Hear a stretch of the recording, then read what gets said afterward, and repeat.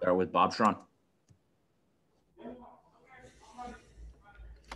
Afternoon, Coach. Hi, Bob.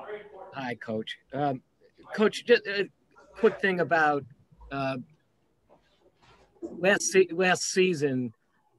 Almost from the beginning of training camp, you were saying what an emphasis you had on how well you thought the defense was coming, what was forming. After you watch Jeff, his defense, you know, I, I hadn't realized how good he, you know, innocent eye, I hadn't realized how, how good he was at ball hawking. So you have Jeff and Tristan, and obviously Marcus, Jaylen, uh, Jayson. I mean, you probably have the makings of a real good uh, defensive team. Uh, could you comment on that, please? Thank you. I think we have the makings of a capable defensive team, yes. I'm not sure that we have shown that we're a good defensive team by any means. So, big difference between the two of those. I mean, um, last year, I think going into the year, a lot of people didn't think we'd be very good defensively, but it was a, you know, a real team wide commitment to be great on that end of the floor. Um, and, you know, I think that that was something that helped buoy us at the start. It showed true most of the playoff run. Uh, at times we weren't as good, um, but for the most part, I thought we hung our hat on that end of the floor because it gives you a chance to win this team has had its moments. It's improved in the last, you know, three mm-hmm. games, um, four games over the first couple. Um, but, you know, we're not where we want to be defensively by any means.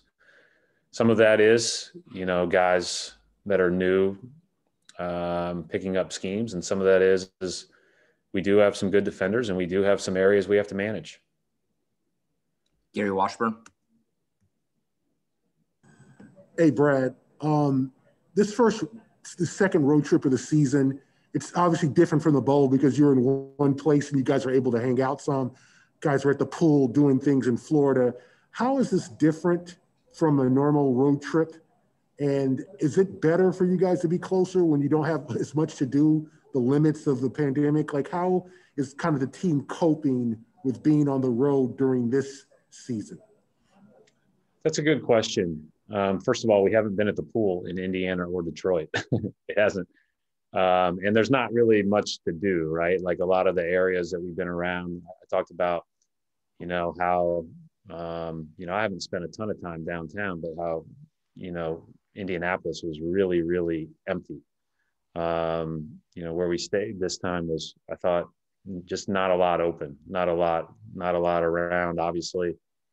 Um, and, you know, it's the pandemic has affected everyone. So when you are traveling, the the chance to congregate in our own situation is in huge ballrooms, but really well spaced with masks on. So it's still unique, um, even more unique, I'd say, than the bubble. When you got into our meal room at Disney, it was a small space, really.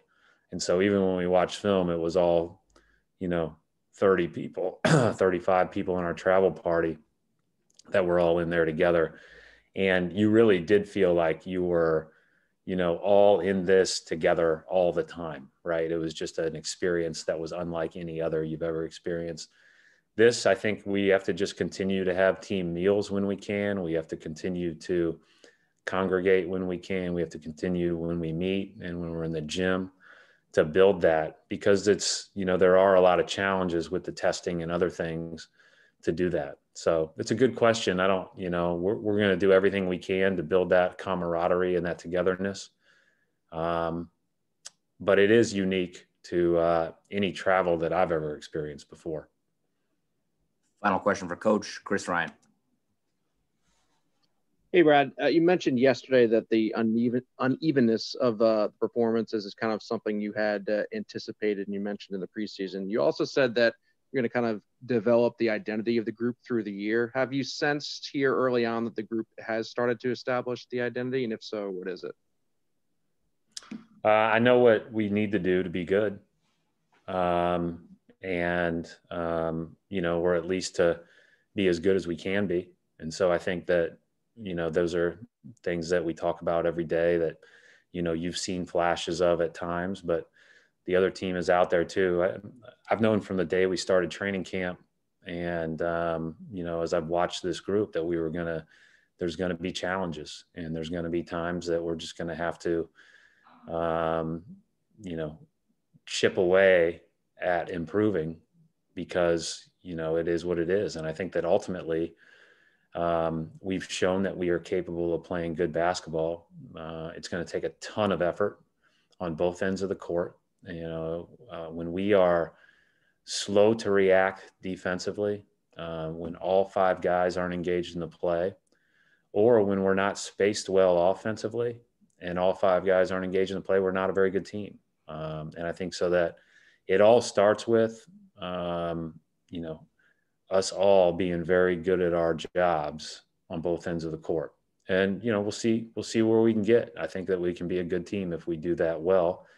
Um, like many other teams, we're building towards that. We're not there yet. All right, we'll wrap it up right there. Thanks, Coach. Mhm.